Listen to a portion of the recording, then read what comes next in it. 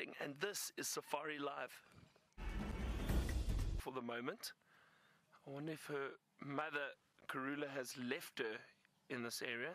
Let's see if she has a drink though. She's walking around almost like she's searching for something. I was thinking she might come and have a drink. But what a fantastic surprise. Good morning. My name is Byron, and on camera this morning is Brian with me and the thumb. And then we have Jamie and Jandre on the other vehicle, and then, of course, Jerry and Rebecca in the final control. Now, this is such a great start. I was hoping to find Karula with the youngsters. That's what I came looking for this morning.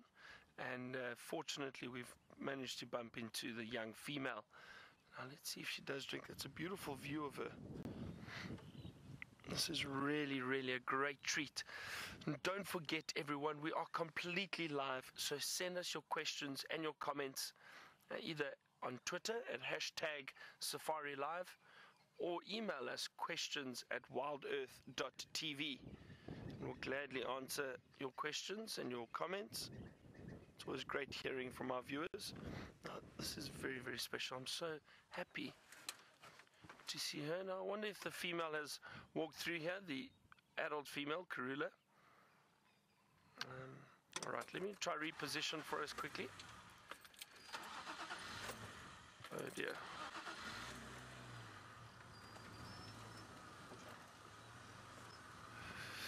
Uh, Liz, thank you very much. Um, maybe a little bit of luck, who knows? There we go. Oh. see, I always want to try and get a view of a leopard drinking, and especially photographers. Let's see, she seems a little bit cautious, almost like she's not too sure where she should be drinking. I'm still just scanning this area very carefully to see if the female isn't around. Karula. Um,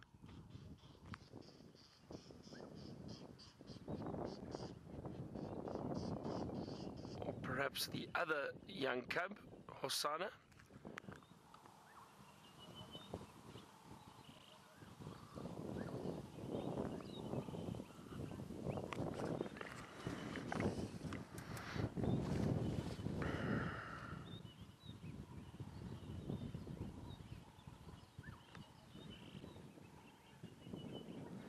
Oh, she is drinking. Now, that is wonderful. Now, you see, she's very, she's still nervous. You can see, typical young cub. She's not too sure what's in the water hole. There might be one or two little terrapins in there that are moving, and maybe she's a little nervous of the movement in the water.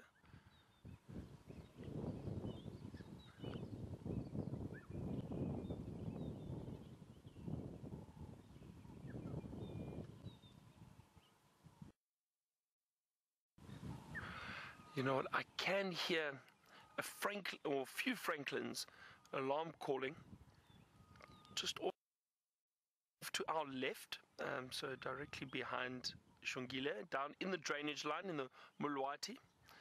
And I wouldn't be surprised if maybe one or two of the other leopards are down there. And I will go have a look, but this is just such a lovely view. I'm going to see if I can't maybe reposition quickly. Tell you why, usually leopards, if they do drink, they do drink for a while. Um, she may be a little bit different.